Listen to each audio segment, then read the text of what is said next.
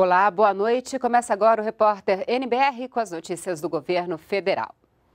Mil caminhonetes adquiridas pelo Ministério da Saúde vão ajudar os municípios a combater o mosquito Aedes aegypti. O presidente Michel Temer participou da cerimônia de anúncio da aquisição dos veículos no Palácio do Planalto.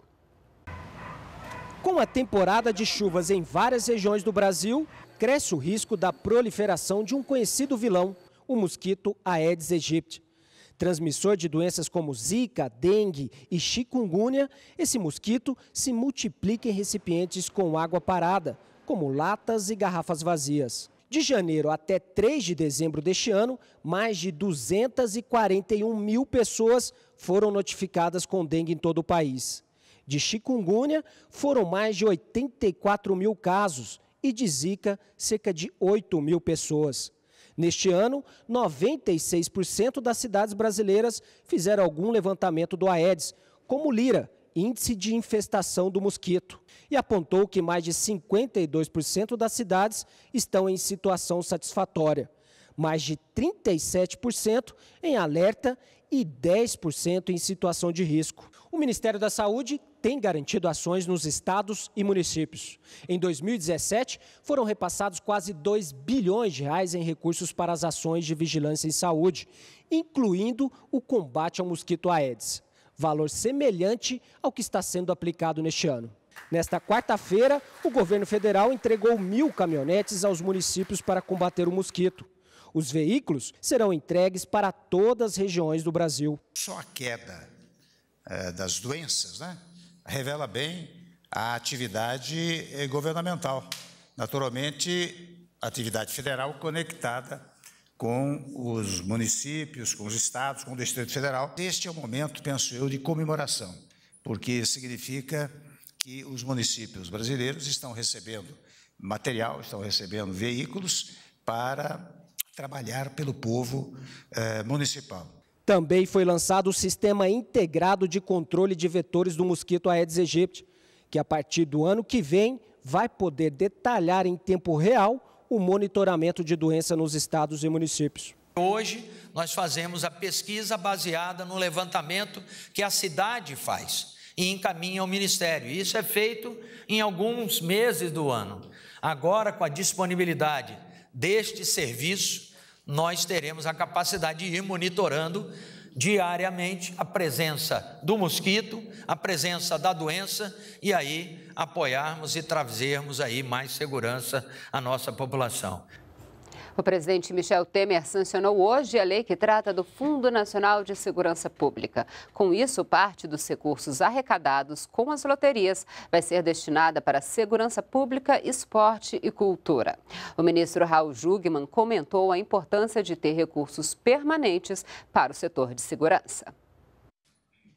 A sanção no Palácio do Planalto transformou em lei uma medida provisória assinada em julho deste ano. A medida prevê que parte dos recursos arrecadados pela loteria da Caixa Econômica Federal sejam destinados para o Fundo Nacional de Segurança Pública. Ainda de acordo com a lei, esporte e cultura também vão receber verba arrecadada com as loterias.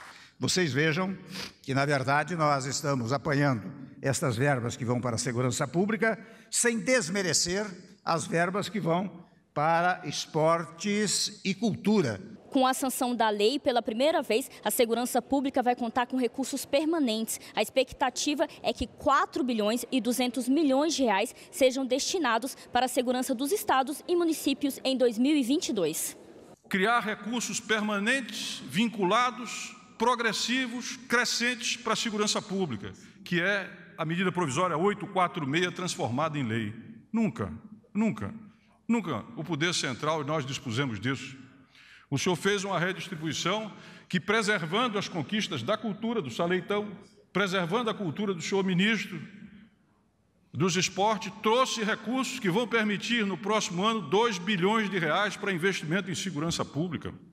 O investimento total de segurança pública na área de investimento é de 6 bilhões. Só para o ano serão 2. No ano seguinte serão 3 e um ano mais serão 4 bilhões de reais. Isso representa uma enorme e permanente conquista, porque isso também é lei que nos foi dado pelo Congresso Nacional. Só neste ano, a segurança pública recebeu mais de 580 milhões de reais em recursos adicionais. A ideia é que 20% da verba prevista nesta lei seja destinada ao programa de qualidade de vida dos profissionais da segurança pública. A verba pode ser usada para programas habitacionais e de assistência de saúde para esses profissionais.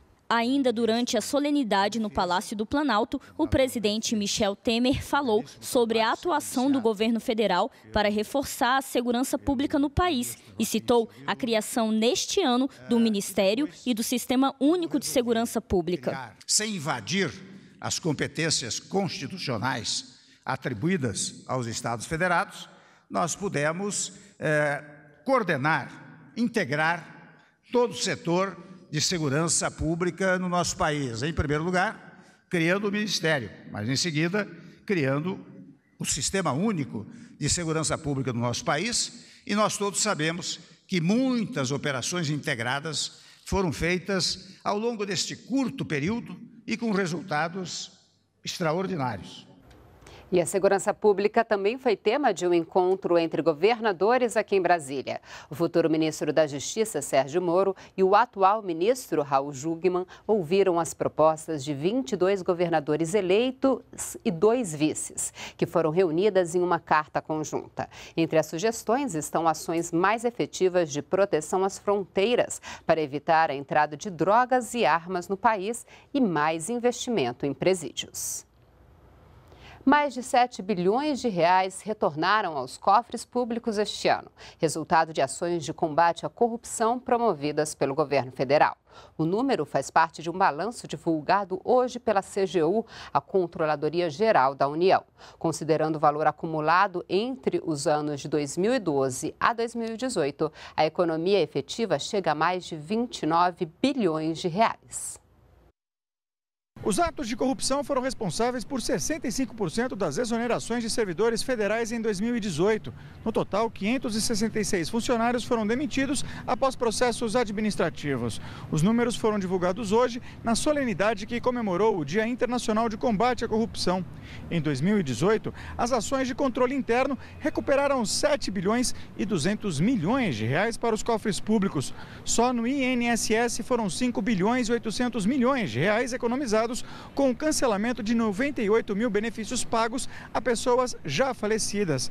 Para o ministro da Transparência, Fiscalização e Controladoria Geral da União, Wagner de Campos Rosário, os resultados refletem as atuações dos mecanismos de controle dos gastos públicos.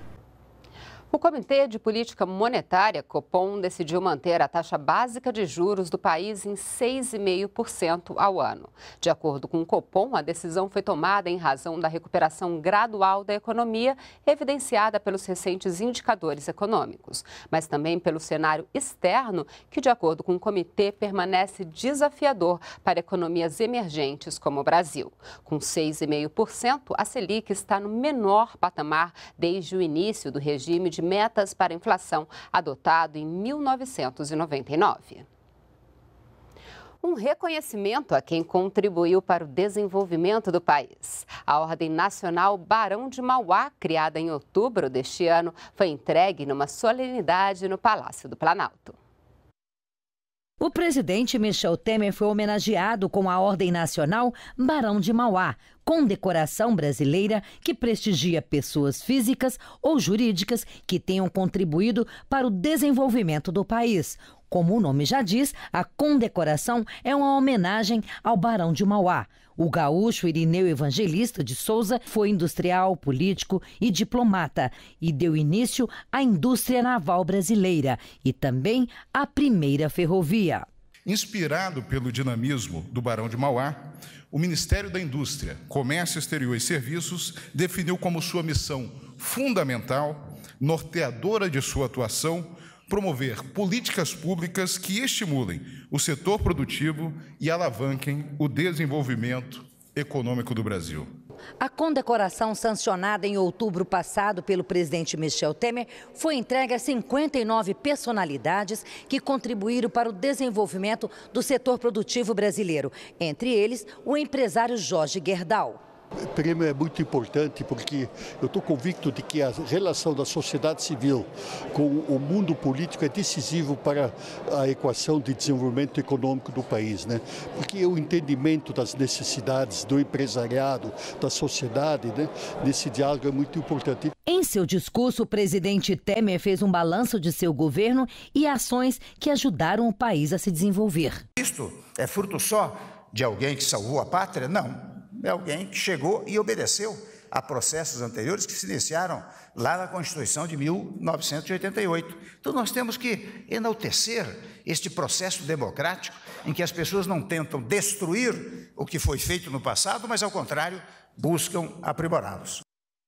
Nós ficamos por aqui. Você acompanha a nossa programação ao vivo pelo site da NBR. E todas as reportagens estão em nosso canal no YouTube. Acesse também o nosso perfil no Twitter. Você pode mandar sugestões de reportagens e dúvidas sobre programas e ações do governo federal para o nosso WhatsApp. Então, anote aí, é 61998678787. Uma boa noite para você e continue com a gente aqui na NBR, a TV do governo federal.